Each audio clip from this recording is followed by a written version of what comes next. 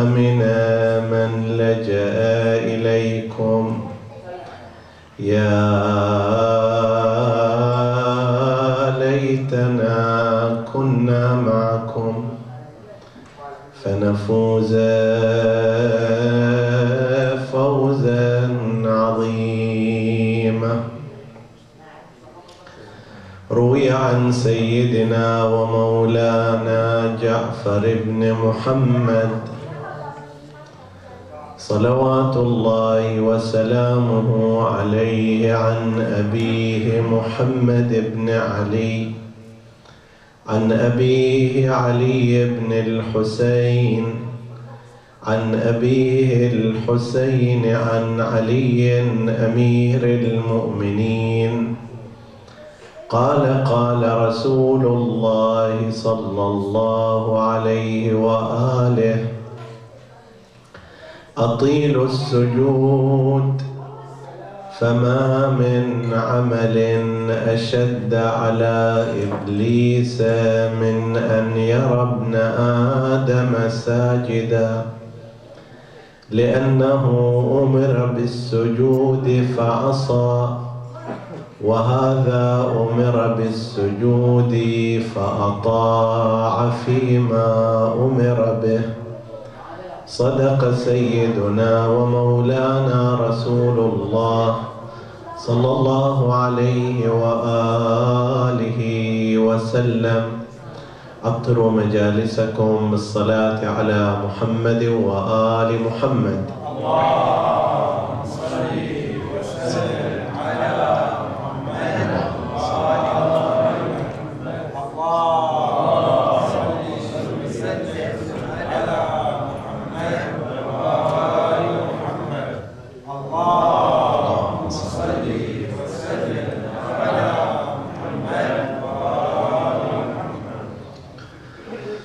هذا الحديث الشريف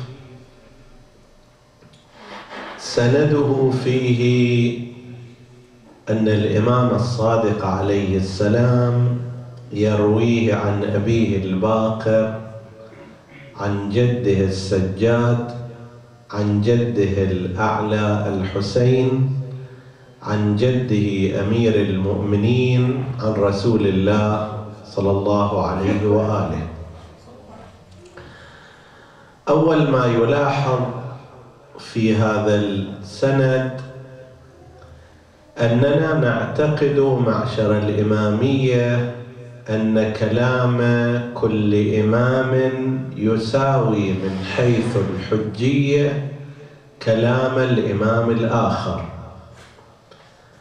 فلو جاءنا مثلا حديث عن الإمام العسكري عليه السلام فإننا نستفيد منه حكما شرعيا ونجعله حجة على ذلك الحكم مثلما لو جاءنا حديث عن رسول الله صلى الله عليه وآله. باعتبار أن علماءنا قد ذكروا أن من الأدلة على الأحكام الشرعية السنة والسنة لا تختص بحديث رسول الله وإنما تشمل أيضا الأحاديث المروية عن المعصومين عليهم السلام وورد في الخبر عنهم حديثي حديث أبي وحديث أبي حديث جدي وحديث جدي حديث رسول الله صلى الله عليه وآله. فإذا كلام الإمام الصادق من حيث القيمة في الحجية يساوي كلام أمير المؤمنين عليه السلام. ما دام الأمر كذلك يأتي السؤال لماذا إذا روى الإمام الصادق الحديث عن آبائه؟ ليش ما قاله مباشرة؟ الجواب على ذلك لجهات متعددة منها ما يرتبط بحديثنا هنا للتأكيد على أهمية مضمون الحديث. وبعبارة أخرى ما يرد من الأحاديث بهذه الطريقة أن الإمام يرويه عن أبيه عن جده عن الإمام أمير المؤمنين عن رسول الله يراد أن يقال هذا حديث تكلم به رسول الله ثم أكد عليه علي بن أبي طالب ثم أكد التأكيد الإمام الإمام الحسين ثم قال ذلك أيضا الإمام السجاد وهكذا مما يتبين معه أن مضمون الحديث ومعنى الحديث من المعاني المهمة التي أراد أهل البيت التأكيد عليها. هذا المضمون اذن من المضامين التي أريد التأكيد عليها ويحمل قضية السجود. التوجيه في الحديث يقول أطيل السجود. ليش أطيل السجود؟ فما من عمل أشد على إبليس. عمل يعمله الإنسان المؤمن. ماكو أصعب على إبليس من أن يرى ابن آدم ساجدا. ليش صعب عليه؟ باعتبار أنه هو إبليس. أمر امرا مباشرا من قبل الله عز وجل فعصى. وهذا ابن آدم أمر بأمر غير مباشر. يعني هناك الله سبحانه وتعالى قال للملائكة وقال لإبليس اسجدوا لآدم. أمر مباشر من الله عز وجل. إبليس امتنع. هنا في هذا الزمان أنت تسجد لله. ليس بناء على أمر مباشر من الله وإنما بناء على أمر بالواسطة. النبي قال لك يقول الله اركعوا مع الراكعين اسجدوا مع الساجدين اسجد لله عز وجل. أنت ما سمعت كلام الله إلا من خلال لسان رسول الله. فهذا مو أمر مباشر وإنما أمر غير مباشر. مثل أن تقول يقول لك فلان سوي هذا العمل. ابن آدم وصل إليه أمر الله بشكل غير مباشر بالسجود وأطاع. إبليس وصل إليه أمر الله بشكل مباشر وعصى. ولذلك بالنسبة إلى إبليس يكون سجود ابن آدم صعبا عليه وشاقا عليه لأنه يعني أنه محروم وهذا مرحوم. يعني أنه هو مبلس وهذا مطيع. يعني أنه لم يستطع أن يغير اتجاه بني آدم لا أقل هؤلاء في أمر العبادة والسجود. ليش اختير أمر السجود بالتحديد؟ يعني إحنا عندنا مظاهر العبادة متعددة. الدعاء من مظاهر العبادة. الركوع من مظاهر العبادة. السجود ليش هلقت تأكيد عليه؟ لو تأملنا في السجود وفي معانيه نفتهم لماذا ورد في الحديث لو يعلم ابن آدم ما له في السجود لمن فتل من سجوده. لو يدري شنو قاعد يحصل ابن آدم وهو ساجد من القرب لله عز وجل وعظيم المنزلة والثواب لو يدري حقيقة إيش قد قاعد يحصل ما كان يترك السجدة ما ينفتل منها ما يتركها ما يرفع رأسه أبدا. السجود لو نلاحظ مع شيء من التأمل أوضح مظهر من مظاهر العبادة هو السجود. ولذلك أيضا لا يجوز لأحد غير الله عز وجل مهما عظمت منزلته. لذلك إذا تلاحظون تأكيد علمائنا في الرسائل العملية ومذكور هذا في العروة أنه يرى بعض المؤمنين يسجدون على عتبة المشاهد المشرفة وهذا يجب أن يكون سجودا لله وشكرا على توفيقهم إلى الوصول إلى هذا المكان. لا أنه سجود لصاحب القبر وإلا يكون ذلك شركا ومحرما. مهما عظم صاحب القبر أنت لا تسجد له أبدا وهو لا يرضى أيضا بذلك لأن قيمة صاحب هذا القبر قيمة رسول الله وهي أعلى القيم في أنه وأشهد أنك عبده ورسوله. أول شيء عبد بعدين الرسول. طيب خلينا نشوف السجود ما الذي يحصل. الإنسان من الحيوانات من المخلوقات يعني حيوانات في مقابل النبات من المخلوقات الواقفة منتصبة وهي قليلة في الحيوانات جدا. وأعلى منطقة فيه هي هذه المنطقة الجبهة والرأس. هذا من ناحية الخلق والشكل الظاهري.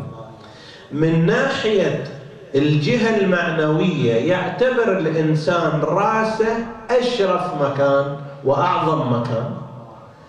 هذا نفسه اللي أعلى مكان من حيث الشكل وأشرف مكان من حيث المعنى لأجل الله عز وجل يخليه في أوطأ مكان وهو الأرض. ما يخليه بس راكع الركوع نصف انحناء. طيب؟ أن واحد يخضع برأسه هكذا ويدعو هم شيء فيه من الانحناء والخضوع.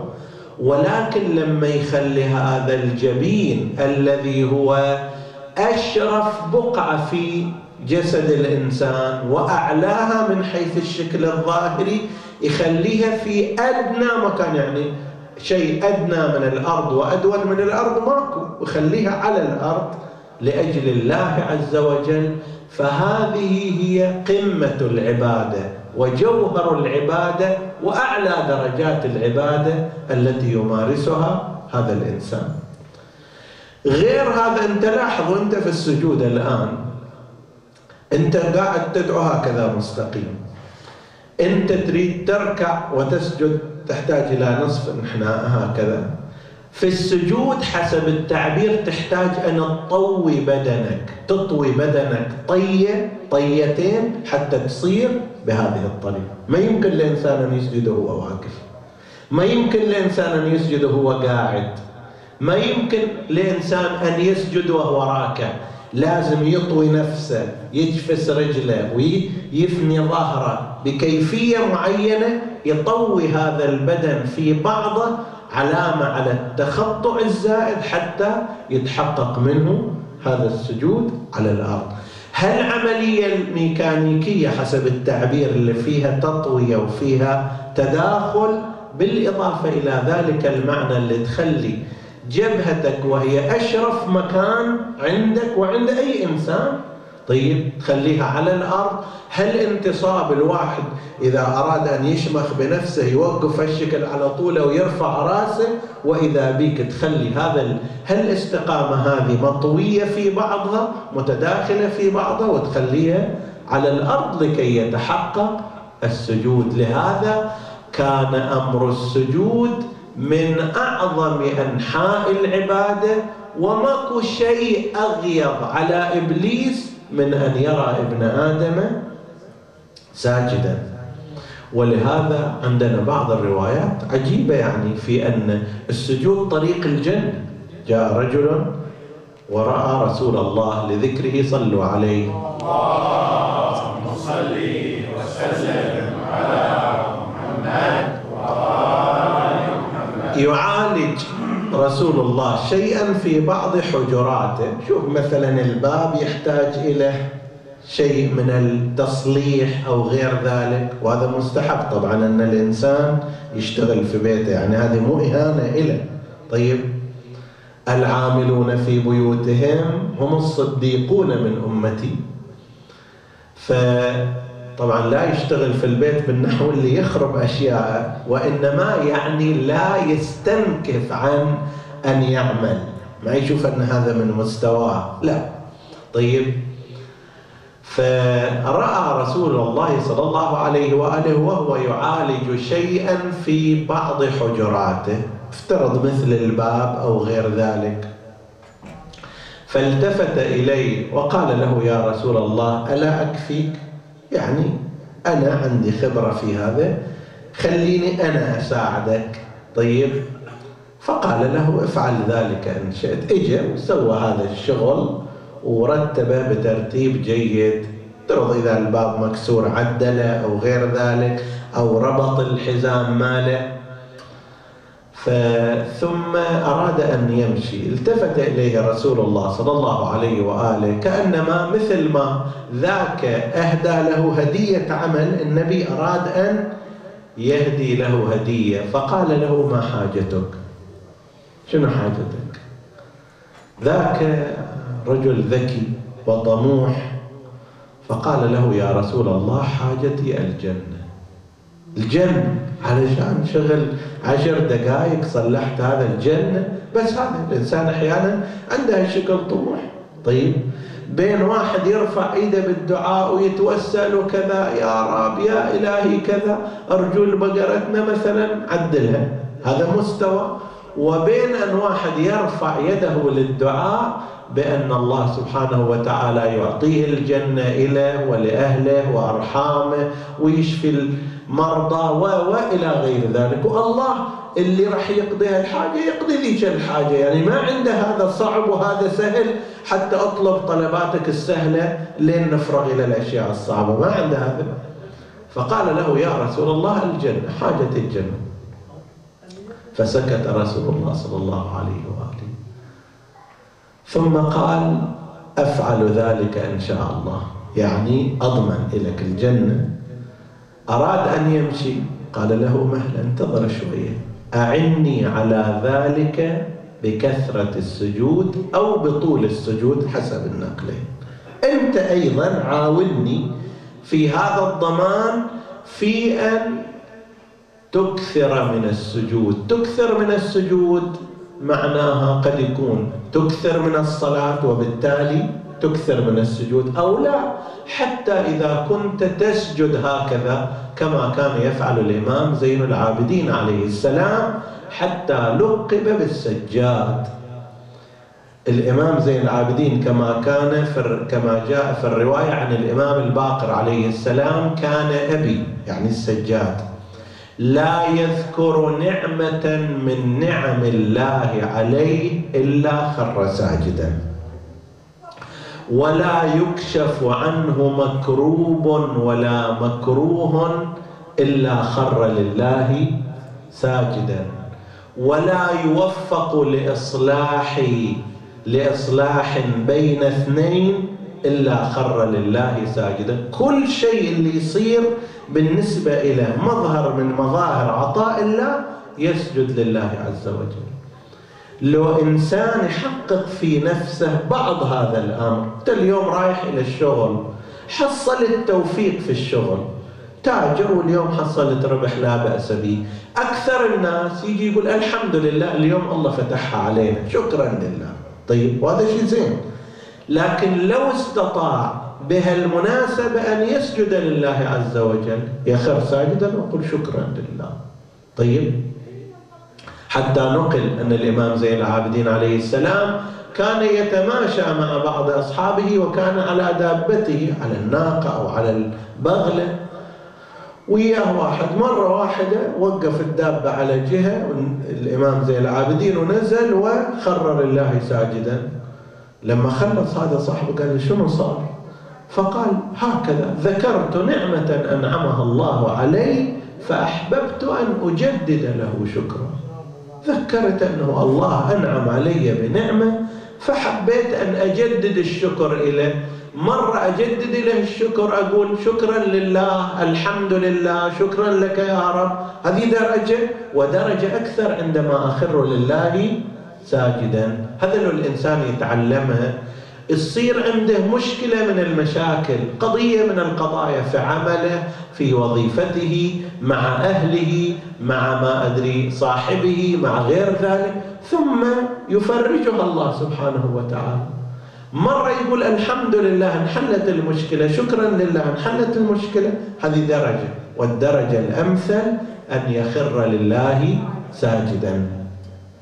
لذلك يعني لهذه الجهة اللي السجود إلى هذه الموقعية الكبيرة وجدنا أن محله في الأحكام الشرعية وفي الفقه محل واسع جدا لا يقارن بغيره. أخذ أمثلة. عندنا سجود الصلاة. فالصلاة أكثر شيء في الصلاة السجود. صلاة اليومية اللي أنت تصليها.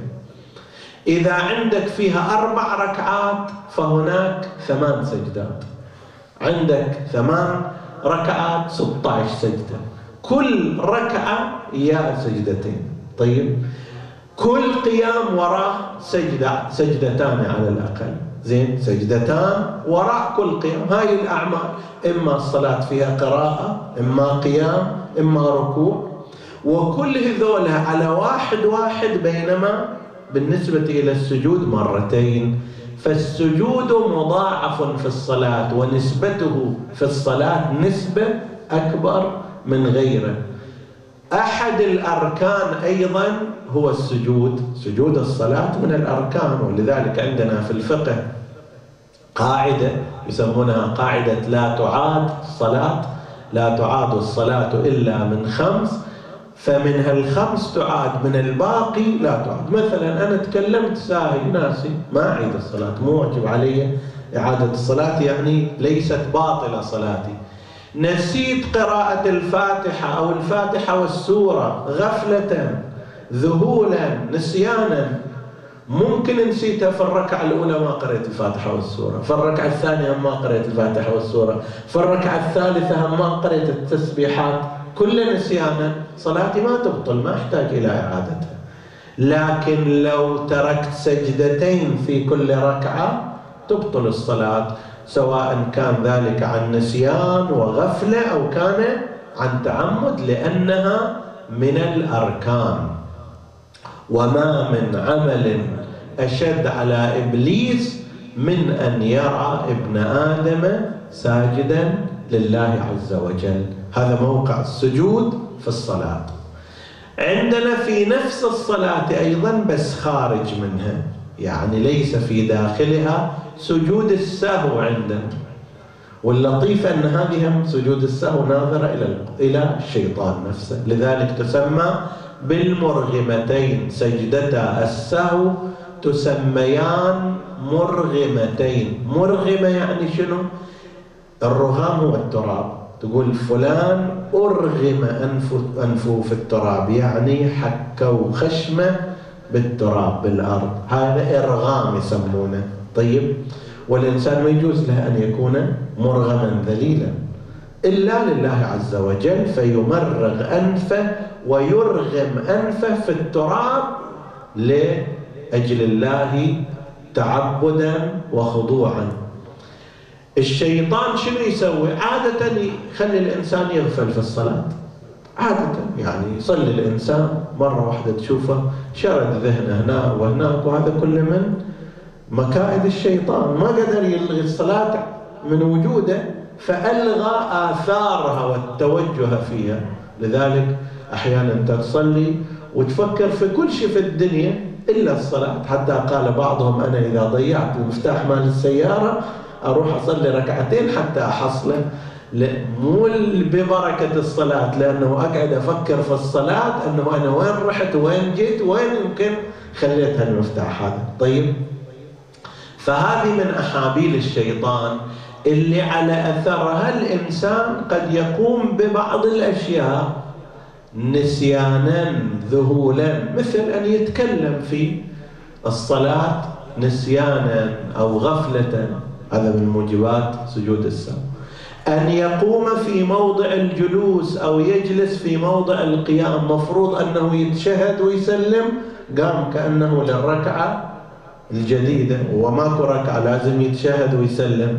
أو انعكست المسألة بدأ بالتشهد والتسليم بينما هو لازم يقوم شنو؟ لأجل الركعة الأخيرة. قام في موضع القيام أو قعد في موضع قام في موضع القعود أو قعد في موضع القيام. هنا أيضا هذا من موجبات سجود السهو.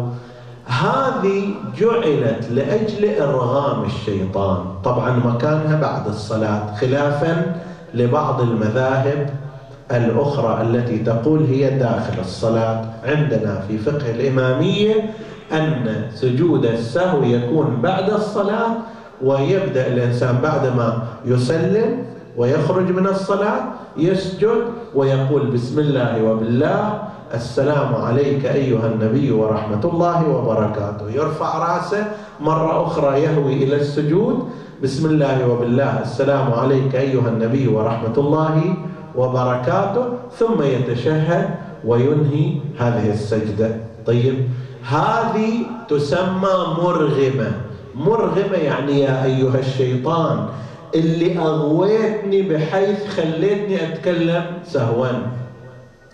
أو أزيد شيء نسيانا أو أنقص شيء غفلة أو أقوم بينما كان لازم أتشهد أو أتشهد بينما كان لازم أقوم إعناد إلك وإرغام إلى أنفك. أنت اللي ما تحب السجود بسوي سجدتين لأجل هذا السهو فكأنما هذا عقوبة للشيطان على أنه أغواني مرة أن أسجد عنادا له شنو؟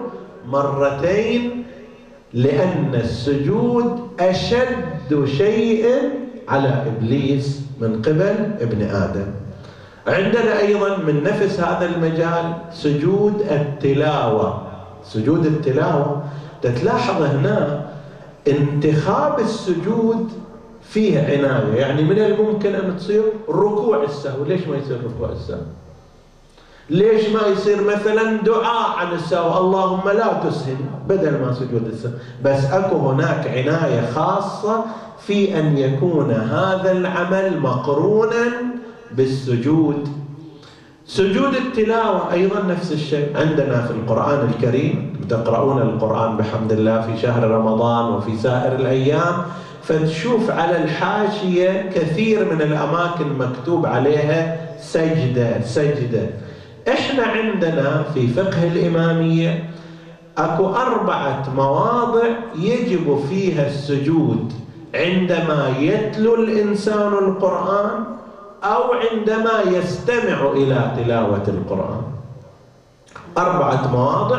بقية المواضع غيرها الأربعة مستحب للإنسان أن يسجد ويحصل على ثواب السجود وله أن لا يسجد ولكنه لا يعاقب لأنها سجدة غير لازمة باستثناء المواضع الأربعة. مثل سورة السجدة فيها آية. طبعا ما نقدر الآن نقول آيات السجدة حتى لا يسجد الحاضرون كما كان يصنع فيما نقل. العلامة الحلي على الله مقامه ينقلون عنه هكذا والله العالم من هذا الناقل أنه لما كان صغيرا غير بالغ يعني عمره عشر سنوات 11 سنة طيب كان والده وهو أيضا من العلماء الكبار كان والده أحيانا ربما طلبه لأمر من الأمور أو يريد يمسكه لعقوبة أو غير ذلك. فكان لكي يفر منه ماذا كان يصنع؟ يركض هكذا ويقرأ آية السجدة. آية السجدة بالنسبة إلى باعتبار أنه غير مكلف صغير لا يجب عليه. إن شاء الله ماكو هنا أطفال صغار ويتعلموا السالفة ويا آبائهم. آية السجدة بالنسبة له باعتباره غير مكلف صغير لا يجب عليه السجود فيها. بالنسبة إلى أبيه واجبة فيخلي أبوه يسجد إلى أن يسجد ويرفع رأسه وما كذا هو يكون قد وصل المكان الذي يختبئ به. فعندنا سجدة سجدات أربع. سجود سورة السجدة وسجود سورة فصلت وسجود سورة العلق وسجود سورة النجم. فيها آيات واضحة والأكثر المؤمنين يعرفونها لا نذكرها هنا. ولهذا أيضا لأنه يجب فيها السجود على الذي يتلو يقرأ هذه الآية وعلى الذي يسمع أيضا. لذلك لا يجوز قراءة العزائم في أثناء الصلاة الواجبة. لا تقرأ. في الصلاة الواجبة سور العزائم مثلا واحد اجى قال أنا بقرأ سورة اقرأ باسم ربك الذي خلق. ما يجوز إلا في الصلاة الواجبة. لماذا؟ لأنه إذا قرأها لا بد له شنو؟ أن يسجد. ويسجد فورا ما يأخرها. فإذا سجد فورا زاد سجدة جديدة في الصلاة بنحو عمدي هذه الصلاة تصير صلاة شنو؟ باطلة لوجود الزيادة العمدية. ولهذا من بعض المذاهب الإسلامية عندهم هذا بالذات. في بعض الأماكن يخصصون يوم الجمعة صلاة الفجر يقرون فيها إحدى آيات السجدة.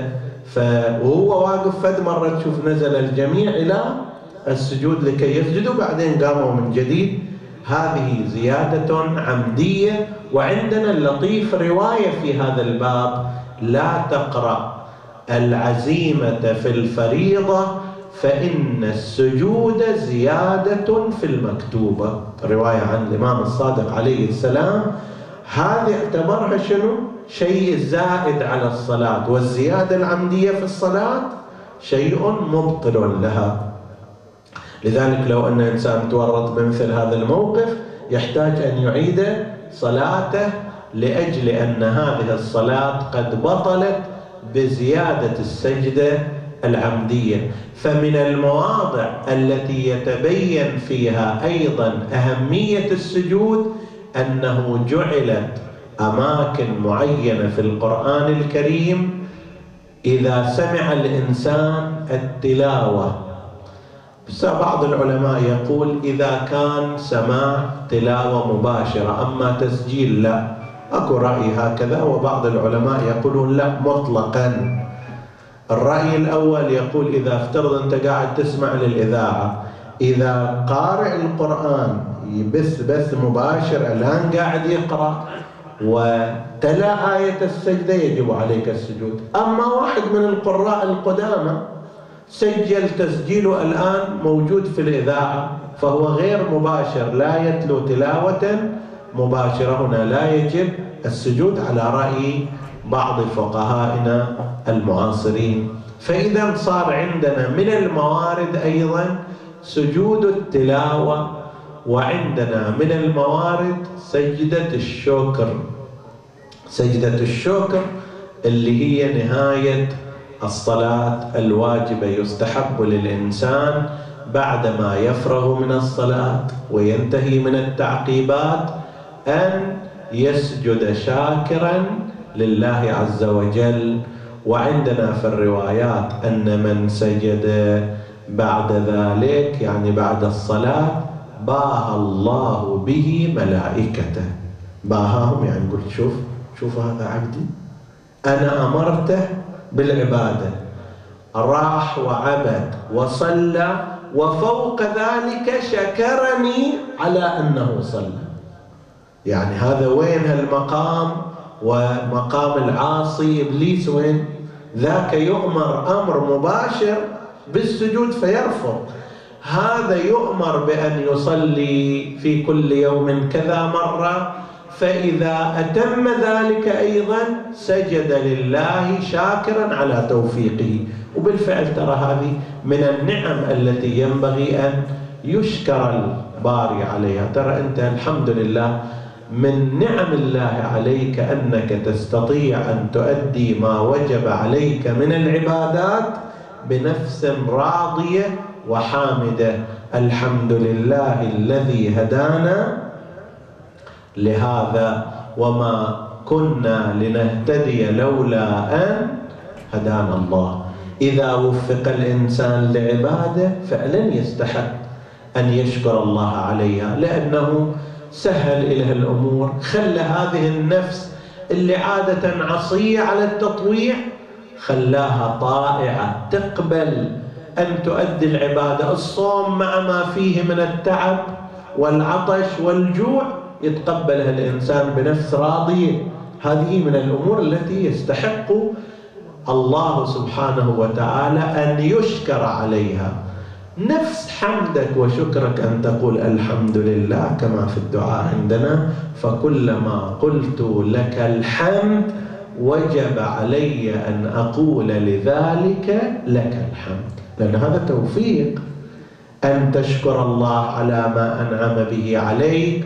وعلى ما أعطاك هذا نفسه توفيق هذا نفسه نعمة تحتاج إلى أن يكرر الإنسان الشكر عليها. فسجود الشكر أيضا واحد من تلك المظاهر التي يتجلى فيها دور السجود في هذه المنظومة الدينية.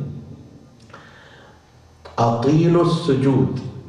كما في الرواية فما من عمل أشد على إبليس من أن يرى ابن آدم ساجدا لأنه أمر بالسجود فعصى وهذا أمر بالسجود فأطاع فيما أمر به. لذلك وجدنا هالمساحه الكبيرة التي يحتلها أمر السجود في قضية الصلاة وهي واضحة جدا وفي أمر سجود السهو أيضا وفي سجود التلاوة وفي سجود الشكر. ولا سيما نكتشف هذا من قول رسول الله صلى الله عليه وآله عندما ضمن الجنة. لذلك الرجل قال أعني بكثرة السجود. في مكان آخر مذكور بطول السجود لكن في هذا المكان أعني بكثرة السجود يعني بكثرة الصلاة أو حتى بكثرة السجدة الاقتراحية مو في الصلاة إلا. تتذكر شيئا من الأشياء من النعم الإلهية؟ تسجد. تتذكر هما زال عنك تسجد. وهكذا بينك وبين ربك أقرب ما يكون ابن آدم. لربه عز وجل حين يكون ساجد. عندك حاجة بين أن تدعو الله وأنت واقف هكذا رافعا يديك وبين أن تسجد وتدعو بتلك الحاجة وأنت ساجد أنت أقرب إلى الله منك وأنت واقف تطلب حاجة. فحتى في في طلب الحاجة حاول أن تطلبها وأنت ساجد. في شكر الله اشكر الله وأنت ساجد وهكذا. أعني قال أعني بكثرة السجود. ومن كثرة السجود أيضا يستفاد كثرة الصلاة أن الإنسان يكثر من الصلاة لله عز وجل. وهي سيرة إحنا نلاحظها في من كان من الأوائل حجر ابن عدي الكندي رضوان الله تعالى عليه من أحمن أكثر أصحاب أمير المؤمنين إخلاصا له واللي ورد في حقه وحق أصحابه حديث عن رسول الله يقتل في مرجع ذراء سبعة نفر يغضب الله لهم وأهل السماء. هذا حديث موجود عند الفريقين عند السنة والشيعة. وفيه إدانة مبكرة لعمل معاوية بن أبي سفيان عندما أقدم على الأمر بقتل هؤلاء نظرا لولايتهم لأمير المؤمنين سلام الله عليه جابوهم إلى دمشق. فأمر أن يخرج بهم إلى منطقة مرجع ذراء الآن موجود قبر حجر بن عدي خارج دمشق بمسافة حوالي يمكن مئة كذا كيلومتر. وهو مدفون هناك وله مقام فهناك قرب للقتل. فقال لهم اشهدوا أني أول مسلم نبحت عليه كلابها. يعني هالمكان هذا اللي جاب الإسلام إليه كان؟ أنا من الأوائل فيه. الجيش اللي فتح هالمنطقه وخلاها تصير منطقة مسلمة أنا من الأوائل في ذلك الجيش والآن أقتل في هذا المكان. فلما قرب للقاتل أمر أو طلب أن يسمح له بالصلاة فصلى شوية طول في الصلاة.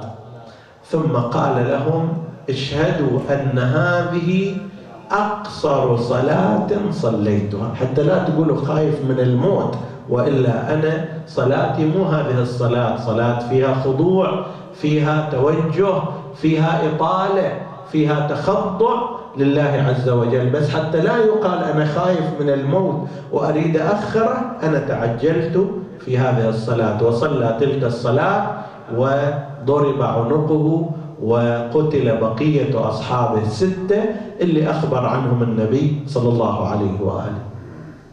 فكان هؤلاء ينتهزون الفرصة في الصلاة والسجود والخضوع لله عز وجل قدر ما يستطيعون.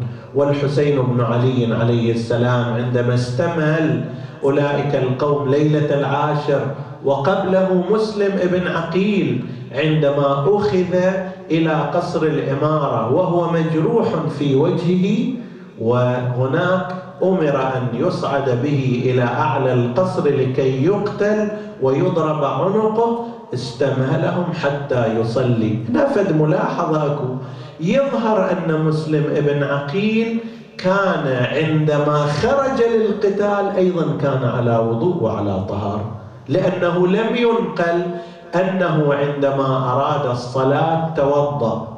ومن المعلوم أنه لا يجوز الصلاة من دون وضوء فيفترض بناء على ذلك أن مسلم بن عقيل عندما استيقظ وصلى صلاة الفجر بقي على طهارته تلك وواجه القوم وقاتلهم وهو على طهارة. وهذا هو المستحب الشرعي أن يكون الإنسان على طهارة دائمة إلى أن أخذ إلى قصر الإمارة أيضا وهو باق على طهارته تلك فصلى بتلك الطهارة والوضوء الذي كان قد خرج به. لذلك صلى تلك الصلاة الخاضعة الخاشعة وتوجه بعدها إلى ناحية الحجاز حيث كان يتوقع أن الإمام الحسين عليه السلام لا يزال في ذلك المكان. توجه إليه بالسلام ونحن نسلم على الحسين. السلام عليك يا أبا عبد الله. السلام عليك يا ابن رسول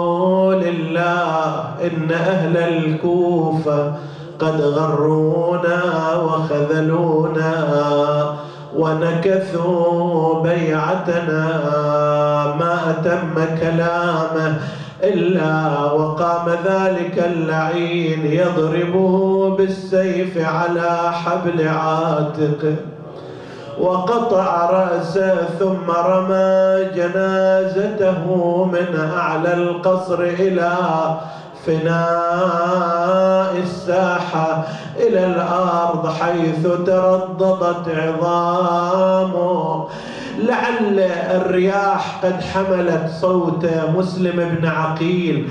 أو لا لكن على أي حال الإمام الحسين كان في زرود ورأى اثنين من بني أسد وهما في طريقهما من الكوفة كأنما كانا خارجين. استقدمهما وقال لهما هل خرجتما من الكوفة؟ قالا بلى. قال ما خبر الكوفة؟ ما خبر ما عندكم عن الكوفة؟ التفت هؤلاء الأصحاب التفت هؤلاء الرجال فقالوا يا أبا عبد الله عندنا خبر مزعج عندنا خبر محزن فإن شئت أن تفرد لنا خيمة نحدثك فيها لوحدك. التفت الحسين فلم يجد حوله إلا أهل بيته وأصحابه المقربين. قال ما دون هؤلاء من سر أخبروا ما عندكم. فقالوا يا أبا عبد الله ما خرجنا من الكوفة إلا ورأينا جسد مسلم بن عقيل يجر في الأسواق بالحبال وقد قطع رأسه. هنا دمعت عينا أبي عبد الله الحسين قام من تلك الخيمة وذهب إلى خيمة العقيلة زينب. نادى أخي زينب علي بحميد. هاي بنت أخت الحسين بنت رقية بنت الإمام علي عليه السلام فيكون الحسين خالها. جاءت إليه بحميدة جلس عندها وأجلسها في حجره ثم بدأ يمسح على رأسها التفتت الطفلة إليه وجدت عيناه قد غرورقتا بالدموع أحست بالشر نادت يا خال يا أبا عبد الله هل وصلك خبر من والدي مسلم؟ ضمها إلى صدره. حميدة أنا أبوك من الآن وبناتي أخواتك. كأني بها ولسان حالها تمسح على رأسي. ودمع العين همال. ما عودتني بالفعل. قبل يا أخا مسحك على راسي تركت القلب ذاي. هذا يا عمي من علامات المصايب. وانفجع قلبي حيث أبوي بسفر غايب. قالها اظن غيبته عنك بطيه سافر عساه يعود لنا بالسلامة. واقعد بحجرة وينشرح صدري بكلام. عندك خبر من والدي. الجهامة قالها يا ثكلة غيبته عنك بطيء. جاني الخبر عن حال مسلم يا حزينة يقولون من قصر الإمارة ذبينا وبالحبل في السوق راحوا يسحبونه. راس المشكر راح للطاغي هدي وسحبا تجر بأسواقهم ألست أميرهم البارحة نسألك اللهم وندعوك. اغفر لنا ذنوبنا كفر عنا سيئاتنا آمنا في أوطاننا. ولا تسلط علينا من لا يخافك ولا يرحمنا. ولا تفرق بيننا وبين محمد وآله طرفة عين. احفظ اللهم إخواني الحاضرين فردا فردا. اقض اللهم حوائجهم واشف مرضاهم وتقبل عمل المؤسسين بخير قبوله وإلى أرواح أمواتهم وأموات الحاضرين والسامعين. نهدي ثواب الفاتحة تسبقها الصلوات.